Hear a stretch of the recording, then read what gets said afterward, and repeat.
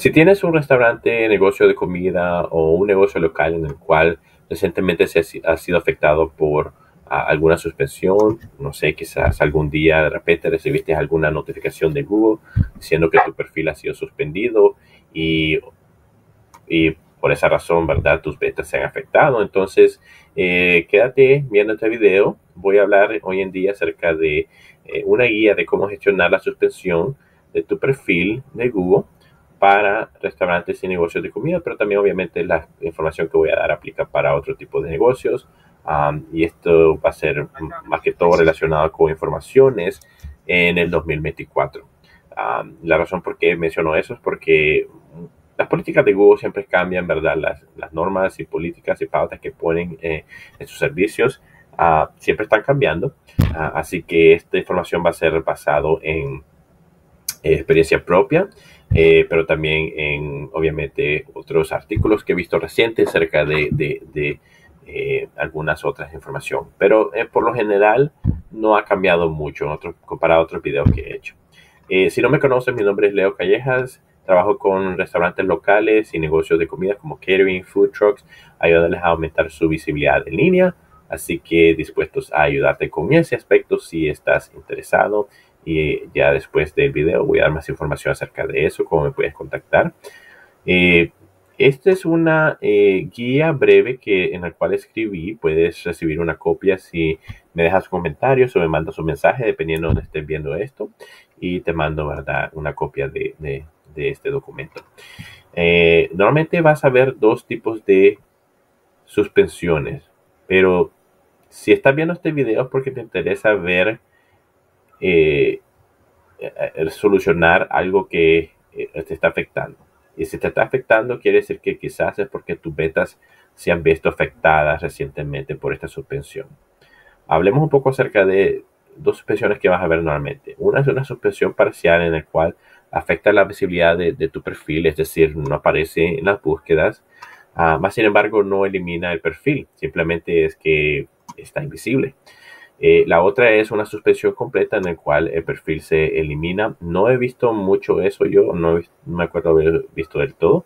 Creo que pasaría si cometes un tipo de fraude fatal, imagino, o después de tantas operaciones sin resolver nada. Eh, ahora, hablemos un poco de por qué se suspenden los perfiles. Aquí puse tres razones, infracciones de la política de Google. Uh, ejemplos incluyen información falsa o engañosa, pero otros ejemplos incluyen con información que pones como nombre del negocio que no es válida. Es decir, tratan de poner palabras, muchas palabras en el nombre eh, y eso, eso pasó recientemente con una persona que me contactó, ¿verdad? Que tratan de poner muchas palabras en el nombre que no reflejan realmente lo, eh, cómo se llama tu negocio. Digamos, si uh, estás, si tu negocio de plomería se llama uh, Ryan's Plumber Sacramento y tratas de poner ahí Ryan's Plumber Sacramento um, y otras palabras como servicio que tiene que ver con el servicio que haces, eso no refleja el nombre real de tu negocio. Entonces Google ve que ah, como un fraude, como un tipo de fraude. Puede ser que no te penalicen ahí nomás. Sin embargo, hay muchas personas que, sobre todo tu competencia, que si es algo que ellos ven que está afectando sus ventas, te van a reportar o otras personas con malas intenciones, ¿verdad? Ven que no estás haciendo algo justo, entonces te van a reportar. Así que eh, estudia las, las, políticas de Google. Sé que como operador puede hacer mucho trabajo, ¿verdad? Estar lidiando con esas políticas porque es mucho que aprender. Tú ya tienes un negocio que correr y muchas otras uh, informaciones que, y políticas y leyes que, al cual te tienes que mantener. Pero eh, pero desafortunadamente, si una de, desafortunadamente, si algo le pasa a tu perfil y, sus, y tus betas empiezan a caer de repente 30, 40%, me imagino que en ese momento sí va a ser verdad algo muy crítico o que te va a definitivamente llamar la atención. problemas de verificación. falta de prueba adecuada de la existencia del negocio, ¿verdad? Haz lo más posible de dar las pruebas necesarias que te piden eh, cuando estás haciendo la verificación.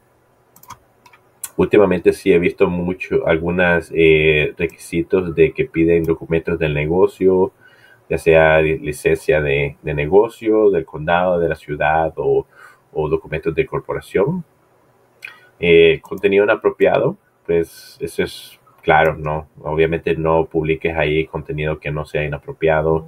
hay algunas cosas que quizás eh, las puedas ver como no inapropiadas, sin embargo no está con las políticas de Google. Eh,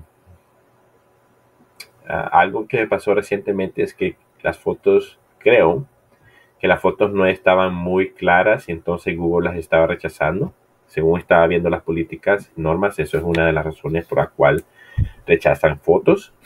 Ah, así que trata de poner fotos que sean claras, obviamente que reflejen algo real, eh, eh, que no vayan contra las leyes federales o estatales tampoco, ¿verdad? No pongas nada que incrimine.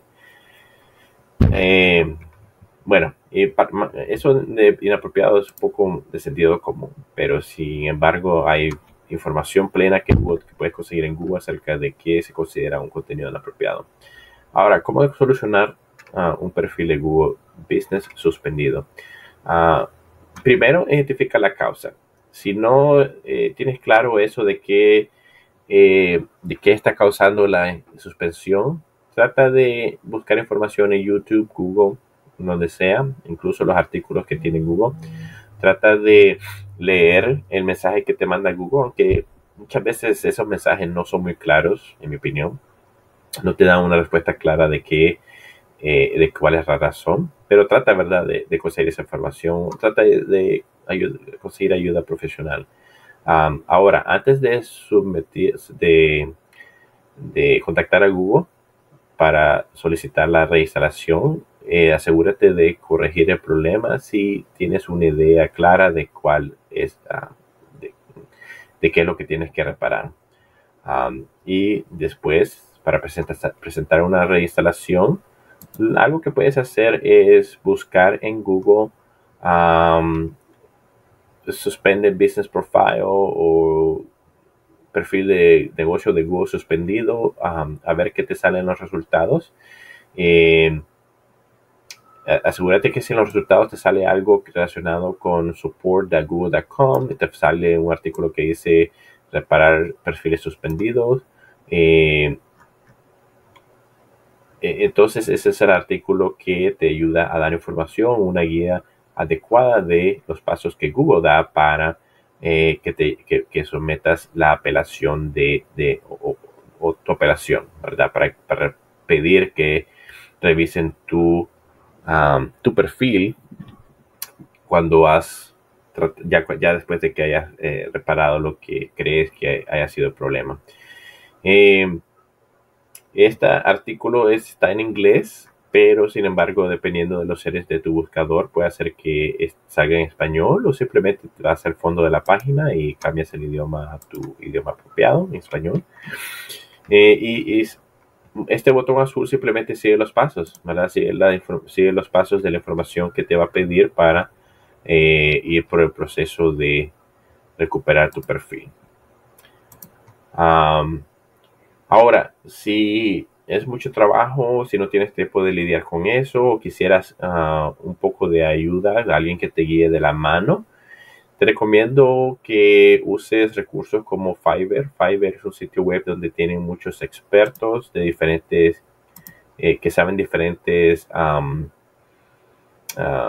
que tienen diferentes eh, experiencias, ¿verdad? Eh, y una cosa que puedes hacer es simplemente buscar, ¿verdad?, el servicio que estás buscando. Obviamente estos son ah, profesionales y eh, en todo el mundo.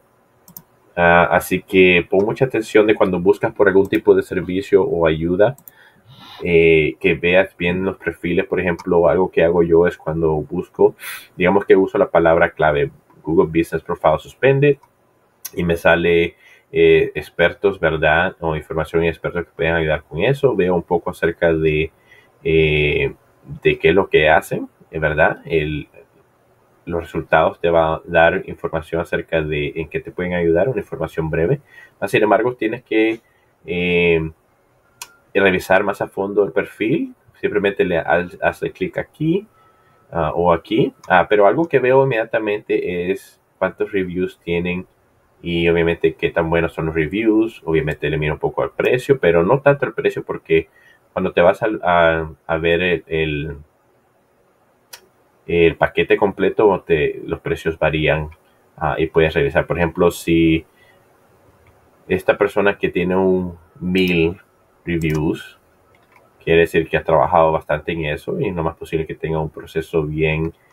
Eh, cuando ves este tipo de de expertos que tienen muchos reviews, quiere decir que son muy usados, en el cual eh, tienen mucha experiencia resolviendo el, este tipo de problemas, pero ah, como puedes ver aquí, ¿verdad? En el, en el buscador o los resultados, ves que dices desde los 50 dólares, más sin embargo, ya cuando te metes al, a ver información más a fondo, puedes ver que los paquetes varían, cambian de precio basado en lo que quieres en qué tipo de paquete quieres.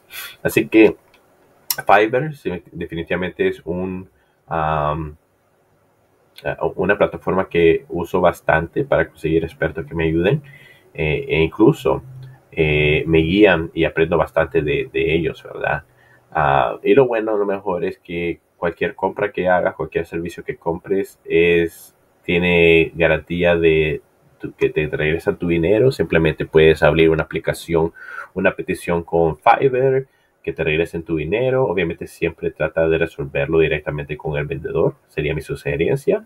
Y si el vendedor por alguna razón no te quiere responder, no te quiere, no te puedes llegar a ningún tipo de solución, pues obviamente usar el proceso de Fiverr para pedir tu dinero de regreso ah, y así buscar, ¿verdad? Otro tipo, otra persona que te ayude en, en, esta plataforma algo sí que te quiero dejar saber es que si usas, si le das clic aquí, vas a estar usando lo que se llama mi ah, enlace de afiliado, es decir, verdad, si eh, te hables una cuenta y eh, pides servicios de Fiverr, eh, yo recibo comisiones. Así que nada más te quería aclarar eso. Un llamado de acción es si obviamente te interesa mejorar tu visibilidad en línea y tienes un restaurante en Estados Unidos o un negocio de comida, entonces te invito a que reserves una llamada gratis conmigo. Simplemente vas a ir a mi sitio web, escoges la, una fecha y hora que trabaja para ti y completas la forma para así programar una llamada. Bueno, espero que información en este video te ayude y bueno, mucha suerte con todo en el 2024. Bueno, bye.